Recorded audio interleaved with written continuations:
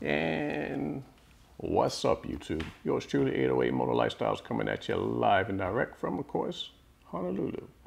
Um, thanks for tuning in as always. And I just wanted to do a quick follow-up video um, discussing my Sony 18 to 105 millimeter unboxing video that I did earlier today slash yesterday, if you will. It was late, late at night, early morning. Um, I took that lens back to Best Buy today. Um, it was a little bit of a process, but nonetheless, successfully I was able to return the lens. And like I said, I didn't want a different lens. I wanted the same one, so I did a uh, even exchange for a new lens. And I'm happy to say that's actually what I'm videoing this uh, vlog on. So that said, of course, that lens that I got today that I exchanged the uh, the other one for is perfect. It was in absolute brand new condition from all of my uh, inspection purposes that I can tell. And I'm loving it so far. It's a very versatile lens.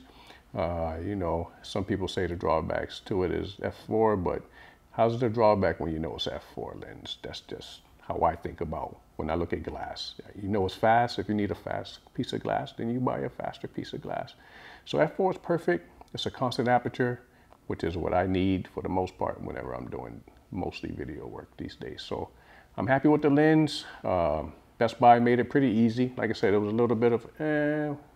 I think the lady that I had uh, come out to my car to uh, take my old lens in for an exchange just really didn't understand uh, much about camera or camera gear and equipment.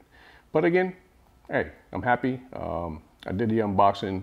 Uh, it was a, a, kind of a negative unboxing, so it's only right that I come back and say, you know what, it's been corrected. Everything's been made whole. Everything is made good again, as far as I'm concerned. Um, I'm just looking forward to being able to shoot more content with this lens. That said, it's already kind of late again, once again here in Honolulu. So I'm out.